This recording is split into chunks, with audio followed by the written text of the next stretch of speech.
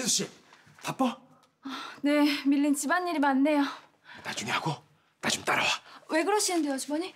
아 말 들어보니까 지나가는 차에 빌린 명품 뭐다 버리고 배상도 제대로 못 받았다며. 그건 그럴 만한 사정이 있어서. 아니 사과만 받고 그냥 퉁치기로 한 거야? 배상을 받을 수 있을 때 확실하게 받아야지. 내가 다 준비해놨으니까 나만 따라와. 얼른. 아, 그건 뭐 다 해결됐다니까요. 아이고, 주머니. 빨리 얼른. 아, 주머니. 국가대표 짠돌이님께서 웬일로 커피를 다 드셔오셨을까? 그러게 이건 뭐 쓰기만 하지 맛도 없는 게 너무 비싸? 달달하니 그 자판기 커피가 백 번 낫지 안 그래? 자판기 커피도 거부할 수 없는 맛이지만 이것도 향이 좋은데요? 그래도 이쪽 분 취향이 좀 낫네.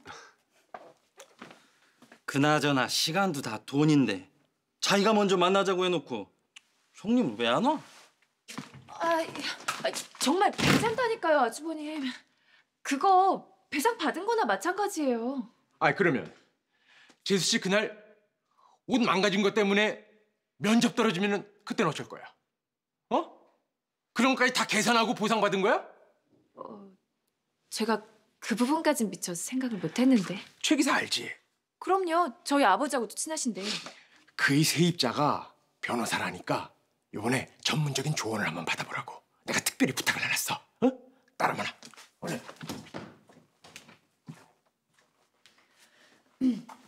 몇 시에요 지금?